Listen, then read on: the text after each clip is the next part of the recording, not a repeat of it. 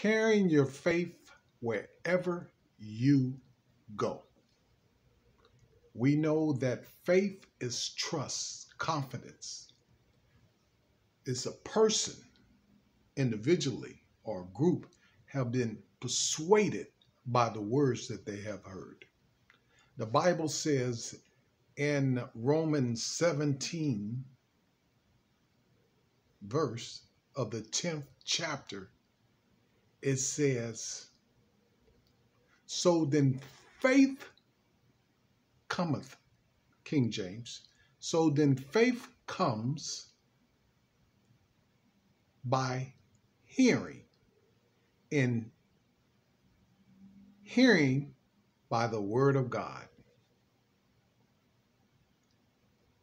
Carrying your faith wherever you go. When you wake up, you should have your faith not written upon your shirt, not in your purse, but in your heart. You must trust in the Lord Jesus with your whole heart. You must carry your faith. So I hope that you heard this because the book of Isaiah, the 53rd chapter, it, he was wondering who had believed this report. And and it, you know those that are believing is the ones that the Lord has revealed it to them.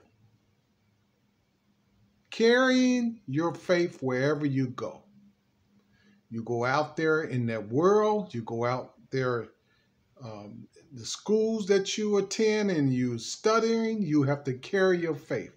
When you have a test to take, after you have disciplined yourself, dedicate yourself, and study well to take that test and pass it. Carrying your faith wherever you go. Because it's impossible to please the Lord if you don't.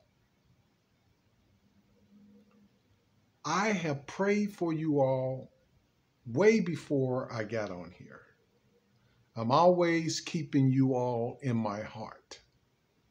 I have prayed for you all for everything that you may have asked for in God's will and also desires, not contrary to God's will or God's uh, way, but those that things that the Lord will give you according to the desires of your heart.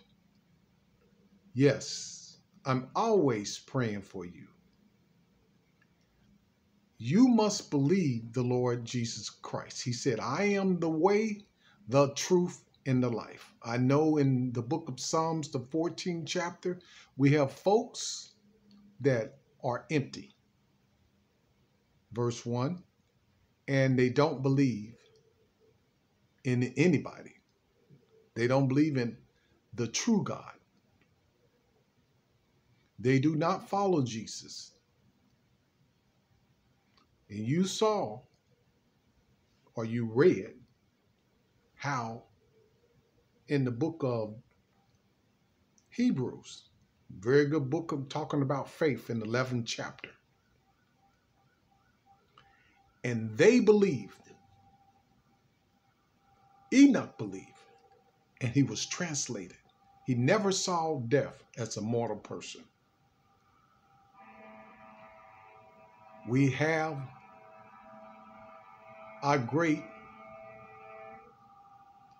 brother in the Lord, Abel. He trusts and he believed that he would do his best earnestly to give the Lord the best sacrifice and he had a more excellent sacrifice than his brother Cain. Abraham had to have faith because it's impossible to please the Lord. In the Old Testament, the Jews stumbled. We must have faith today in things that we're doing, in our health, We must have faith that we'll eat right, we'll think right, especially you all that have been born again. You must have faith that you will come out of that religion and get into the body of Christ one day. Doing only only one way is by being born again.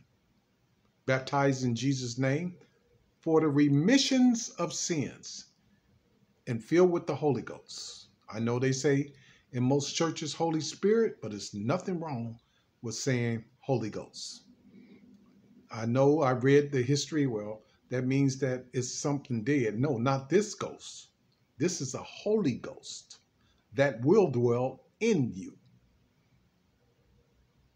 You need to be born again. I don't care what, how well you can sing, how many concerts you have been to, or you've been asked to go to or book to. You must be born again. You must break out of that religion that you're in and come into Christ.